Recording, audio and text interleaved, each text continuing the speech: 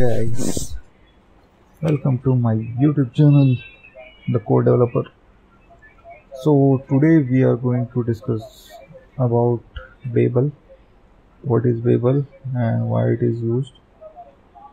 So uh, in the previous video we encountered this babel uh, in the like our terminal it was showing something yellow and it was saying something babel presets and everything so i thought to make a video about this explaining what is babel and what it does.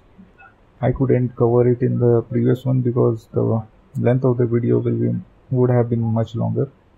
So now let's discuss it here because it is a good topic. So what babel is is a it is a javascript transpiler right? That converts JavaScript ES6 into plain old ES5 JavaScript that can run in any browser even in the old ones. We use it because uh, what happens when we write codes like uh, some of the new features that have been included in ES6 script like arrow functions and everything. So when we write this, so in the older version of uh, JavaScript, some browsers might be using it. So it is like very hectic for those browsers to do like read these things and compile this thing as well. So that is when the babel comes into picture. So what is a compiler? Trans uh, what is a transpiler? Sorry for that. Okay so transpilers or source to source compilers are tools that read source code written in one programming language and produce the equivalent code in another language which is in the same level. Okay then what is transpiling then so it is a process of taking one language and convert it in, into another like you transpile your TypeScripts into JavaScript and Sass into CSS.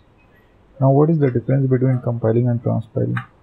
So compiling convert one language to another at lower abstraction level like Java to bytecode while transpiling convert one language to another at same abstraction level like TypeScript to JavaScript or Sass to CSS.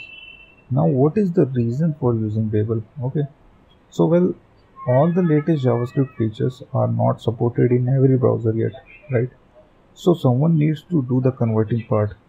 So Babel is here to transpile, transpile latest JavaScript features like ES6 features, arrow function and everything which are not understandable to every browser in to ES5 which is understandable to every browser. Okay.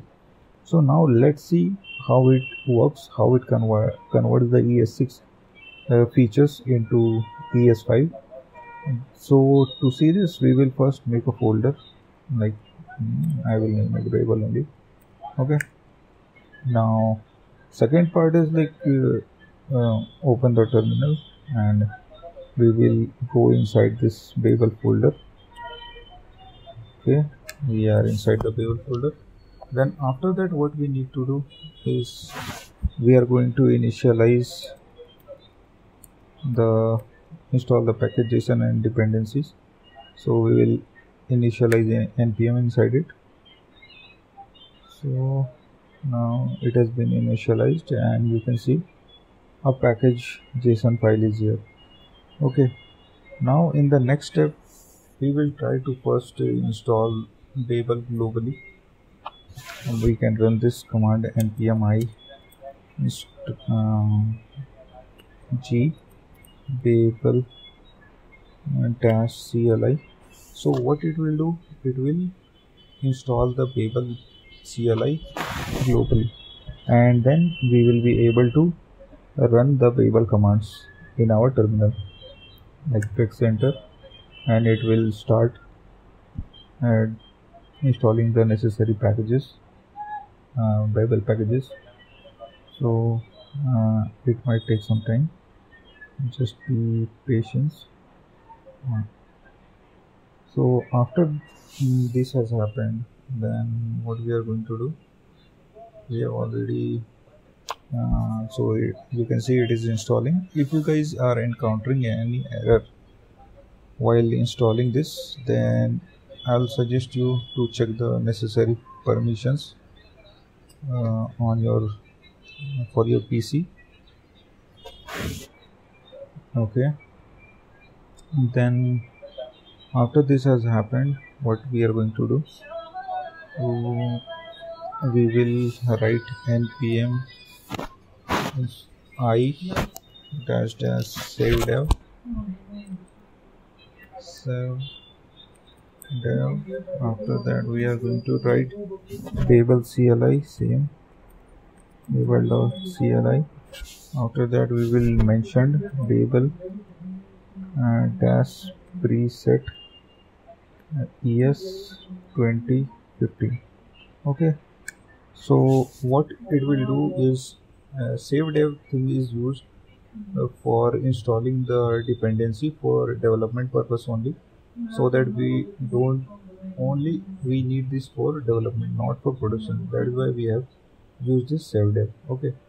And the next thing is babel cli we already saw this for babel packages to run. And then babel preset es25 is like an array of plugins which allow babel to transpile es 2015 code it includes a lot of plugins like plugin for arrow function classes and many more okay? So the next step is like we will create a dot babel rc node modules folder is also there. Now we will create dot babel rc file here okay? And so what it does is this file tells the babel how we want our code to transpile so it will contain a normal json with two properties like plugin and presets. So let me just uh, write it down for you. It will have presets okay it will be an array and it will contain plugins as well okay. So what are both used? If you want just want Babel to transpile transpile specific features you can specify them into into plugins okay? And because there are separate plugins like arrow functions classes instances etc and many more. But defining plugins this way is not a great idea okay? So what we are going to do we just want all the features of es6 to be transpiled okay? So instead of specifying everything we will just uh, take a preset inside it and we will just mention it here so that it will so what presets has it has a uh, all the collection of all the necessary plug plugins that are needed to transpile the ES6 code into ES5 code. Okay, so we just need to mention the preset inside it. So what preset we have already installed is ES 2015. So what we will do, we will just write here ES 2015. Okay, and then we are going to just save the file. Okay. Now after that, what we are going to do, we will create a src folder here hmm, not inside node modules we will select here we will create a src folder in the root directory okay src and inside this i'll make a index.js file okay inside this i will write a function using uh, the arrow functions like const const uh, what checking people con conversion. Okay. So whenever you are declaring any variable or uh, a function it is a good practice to clearly state what you want uh, what this function is doing. Okay don't just write simply variable or something your uh, const function is equal to function or something. It should have a name that will briefly describe its purpose okay? So after that what we are uh, what i can do is i can pass any string or anything i want here. So what i will do hello guys welcome. Uh, this is the cool developer okay? Cool developer okay? So I'll just now save the file okay? So this is an arrow function that is being introduced in ES6 thing okay? So now what I'm going to do is uh, I will try to build this thing.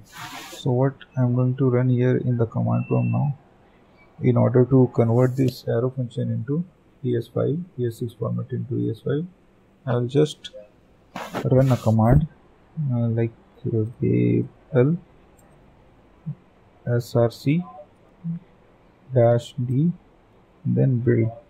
Okay then press enter. Now wait uh, it might take some time. Like it was just a few seconds it will take and you will see a folder appearing here named build. And it will contain the the same file like index.js but this arrow function will be converted into es5 so it is still building. Uh, no issues guys. Sometimes we need to have patience and development is all about patience because every now and then we would be encountering some errors. So i will discuss about the error that i faced. Okay while downloading it where is all that error? Okay so this was the initial error I faced. I will just uh, mention it here as well.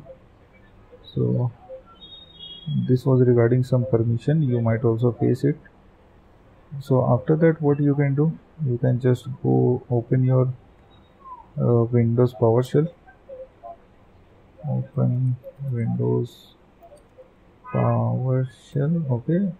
Uh, using run as run as administrator okay. Creator okay. After that what you are going to do you just need to copy paste one code and that will be resolved. So this is the code. You can just write it. I will just provide it here as well. Set execution. You can just go there and write it there and then press enter and this issue will be resolved. Okay so our building has been completed. Okay it has built one index.js file inside build.